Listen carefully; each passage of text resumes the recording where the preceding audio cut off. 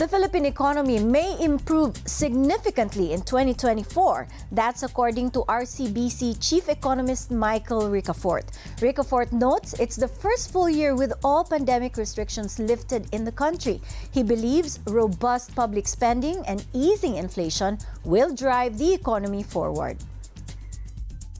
Any other, well, industries like that, both uh, foreign and local tourism, MSMEs, other services, they continue to recover, especially those that were hit hard by the pandemic.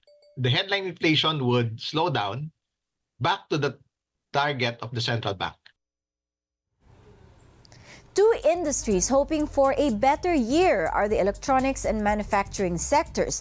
Industry stakeholders are calling on the government to address pain points in attracting investors.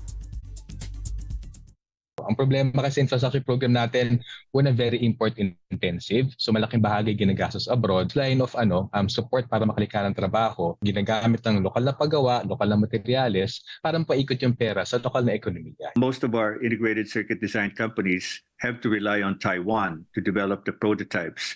It costs uh, higher, it takes longer, and we lose the intellectual property. If uh, the new products and technologies don't come to the Philippines, and eventually we'll be stuck with what we call legacy products. Asian markets ended Thursday trade on a high note, except for Japan's Nikkei 225. The index closed lower as disappointing November factory output dragged sentiment. The Hong Kong Hang Seng led gainers, jumping 2.5%, while Australia's ASX 200 hit a near two year high. Here at home, Philippine shares finally joined the rally, but on thin trading. Regina Capital's Luis Limlingan believes that was a reflection of investors' positioning ahead of next year.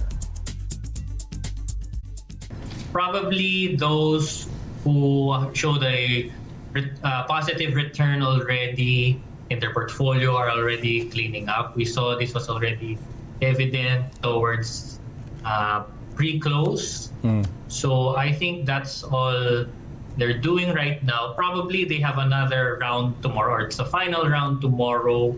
So we might expect uh, more of the same. I hope the value turnover does pick up because I think maybe they were waiting for better price levels, and that's why yeah. we saw that the volume turnover was rather anemic. Over in Brussels, EU flags are flying at half-mast outside the European Commission headquarters as the bloc mourns its former president. Jacques Delors, key architect of the European Union integration, passed away Wednesday at the age of 98. He's considered the founding father of the EU's historic single currency project and served three terms as European Commission president. Current EU President Ursula von der Leyen led tributes online for Delors, calling him a visionary who made Europe stronger. The president of EU member Belgium, meanwhile, said Delors was the most inspirational leader of the European Commission. Let's check on European markets first. They are trading lower with just two sessions left in the year. Oil and gas stocks are leading decliners in the region. As for Wall Street, futures have turned mixed as investors watch out for several economic data, including initial jobless claims. All three major indices, though, are on course for monthly, quarterly, and annual gains.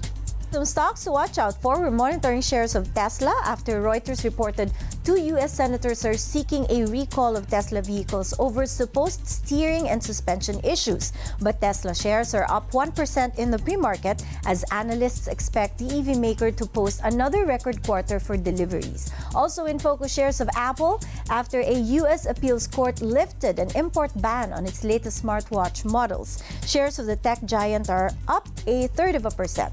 We're also keeping a close watch on shares of the New York Times and Microsoft. The news publisher sued Microsoft and OpenAI for alleged copyright infringement. Shares of New York Times are down half a percent, while Microsoft shares are up two tenths of a percent.